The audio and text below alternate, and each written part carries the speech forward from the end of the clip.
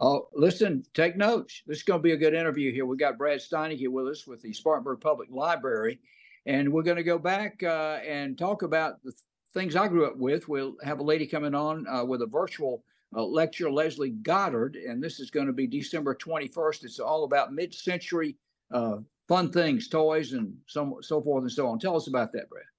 That's right. That's one of our virtual lectures that comes in the Chautauqua series. Um, you can register for this uh, to uh, view it live. That'll be uh, on December the 21st, Thursday um, at 7 p.m. Um, it's also going to be on our YouTube channel for the uh, two weeks following that. So if you're not able to make it at that time and you just want to log onto YouTube and uh, look at the library's channel, uh, you'll be able to see that presentation. But it's all about the mid-century toys and traditions and uh, decorations that that characterized Christmas in that in that period. Aluminum Christmas trees, a lot of folks know or have seen. Um, yeah, and we've one. got one on display here in the Kennedy Room. If you uh, happen to come up uh, over the next few weeks, you'll get to see yeah. it. With that turning uh, color wheel, it changed it, colors, the whole tree from four different colors. I remember. Yes, in fact, when we set that up, I was real nervous that the bulb was going to get so hot because I remember seeing one of these years ago with an incandescent bulb in it, and that element got so hot on that thing, I was worried it was going to catch fire. But this one's fine. It's it's yeah. well, our house didn't burn down, but it, it looked mighty good from the street. I mean, you're going to talk about Easy Bake Oven, GI Joe, Slinky, all those fun things in the '60s that we grew up with. But she's going to talk about everything from uh, post World War II to about 1970, right? That's right. Now, if we want to see this live, do we go to SpartanburgLibraries.org? That's right. You can go to our website and, and log on to the calendar page and see the event that's posted for that. Or you can mm-hmm. give us a call and we'll be happy to register you over the phone. Very nice. Now, uh, something coming up in January the, on the 4th. What's that all about? That's right. So we've got a mid-century theme going on this this holiday season and for the Kennedy Room, and uh, so in line with that, there's a presentation that I'll be giving on January the fourth, also at 7 p.m. Um, this one's a live and in person, so you, you, get to ask questions in real time if you're there. Um, but it's all about mid-century architecture in Spartanburg and just sort of how mid-century architecture evolved as a style and mm-hmm. great examples of it uh, in public spaces and in retail spaces and in private homes all through Spartanburg.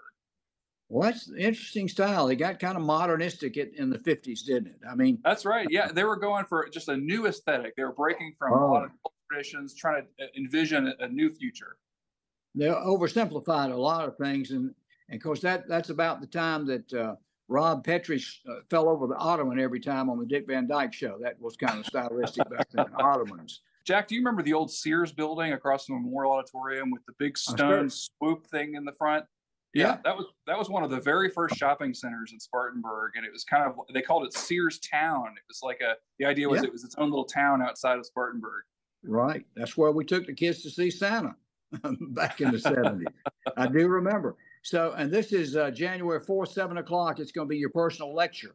A topic that I have long been fascinated with are all the different plans and proposals that were uh, for Spartanburg that never mm-hmm. actually happened. So there's there's plenty of them. That's true for anywhere, but in Spartanburg's case, there were some real big visions that that were uh, would have been transformative.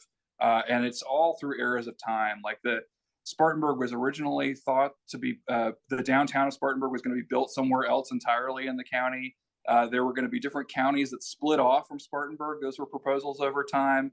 Uh, we've there was a, a going to be a black college that would have been relocated to Spartanburg in 1910. Uh, there's the people talk about how the Talladega racetrack should have been built in Spartanburg. That's that's one of the panels that I've got. Uh, well, a NASCAR museum. You know, they were going to bring a NASCAR museum to Spartanburg too. That's right. Yep. So uh, it's lots of examples and visuals of, of things that, that could have been. Yeah. I, I like to think uh, so. What actually did happen in history is sort of like the positive space. You you see the concrete reality of it, but this is like the negative space. It's all the background that also tells the motivations and interests of the people in the past but right. uh, it's it's something that is a little bit harder to, to see because it was never actually built. Yeah, but that's that's got to be interesting. Of course, now we know what's coming—a big ballpark and a, that's right. Resurgence yeah. of downtown Spartanburg. That's all going to happen. Uh-huh. And of course, uh, you know, I can remember. I can't remember personally, but they took part of Spartanburg County and Union County to make Cherokee County. Did you that's know that? True. Yeah, that was the, the one uh, county secession proposal that actually did take place. But Yeah. uh, Woodruff tried to secede a few times. Uh-huh. Um, there, uh, Greer was going to try to unify either in a new county entirely or be part of Greenville. So there's didn't there's all that. All kinds of proposals from the 1870s on.